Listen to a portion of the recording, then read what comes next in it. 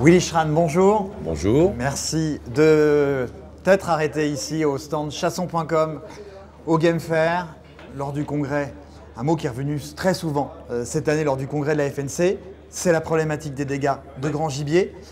Qu'est-ce qui va se passer? Est-ce que l'État va nous aider ou pas du tout? Bah, C'est pas compliqué. Soit il nous aide, soit on paye plus. Je l'ai annoncé, donc on va faire très court. Avant la fin de l'année, je ne vais pas, pas remettre ça au calendrier grec, comme on dit, c'est avant la fin de l'année.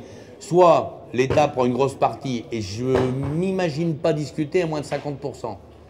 Hein? Voilà, donc c'est un très gros morceau. Donc soit on nous aide, voilà, parce que c'est juste qu'on nous aide. C'est pas normal que les chasseurs payent comme, ils le font. Il y a, d'autres pays dans le monde, les gens ils sont défiscalisés quand ils vont à la chasse, parce qu'on sert, on sert l'intérêt général. Voilà, donc il y a plein d'endroits où on ne peut plus chasser en France, il y a plein d'endroits où on est à peine toléré de chasser en France.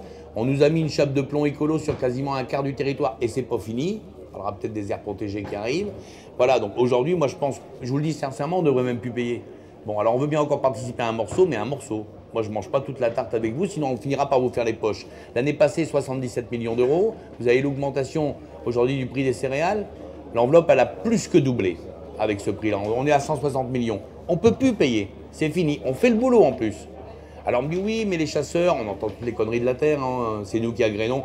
Bah, heureusement déjà qu'on a un agrénage dissuasif dans quelques endroits et je voudrais que tout le monde l'ait, parce que nous n'arrivons pas à voir partout. Mais quand on prend d'autres pays du monde, j'ai un bon exemple, c'est les États-Unis. Les États-Unis, il n'y a pas de culture de chasse du sanglier. Vous le savez, ils n'aiment pas gibier, donc on ne peut pas dire que les mecs ils l'ont développé, ils ne regardent même pas dessus. Hein, ils sont arrivés à un stade aujourd'hui, ils montent dans des hélicoptères, ils tirent à la, Kalachnikov dessus. Vous avez tous vu ça sur YouTube partout. Ça, c'est les États-Unis. L'année passée, 1,5 milliard de dollars de dégâts. 1,5 milliard de dollars de dégâts. Ça veut dire quand même que nous, les Français, on peut nous critiquer, on est quand même rudement bon.